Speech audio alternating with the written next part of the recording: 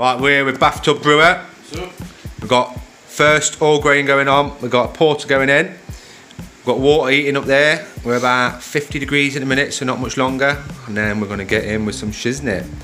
Happy Homebrew Wednesday. On a Friday. On a Friday. yes! You'll watch it on a Wednesday though.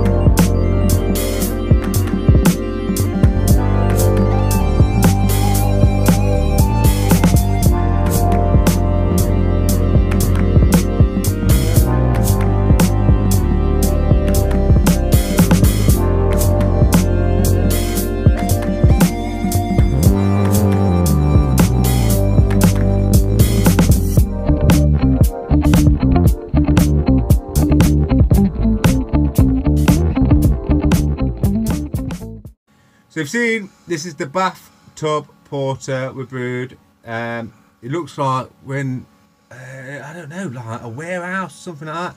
We're at Center Parcs. We find like this little cave bit. That's where we've got the keg store in.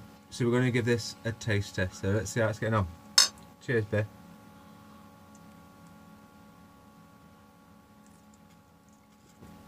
That is the shit. That is a Frappuccino espresso with shitloads of ale in it. It's very, it's very, very cough.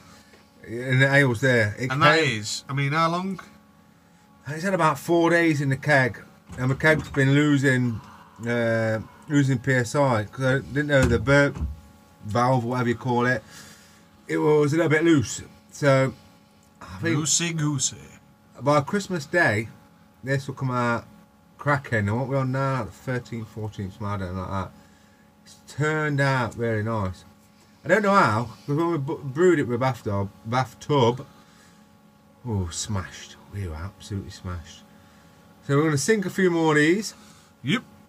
I might do a little Yep, yep, taster yep, on a Wednesday, uh, homebrew Wednesday, see if it's conditioned any nicer. But as always, big love. Come, Hey. Mr.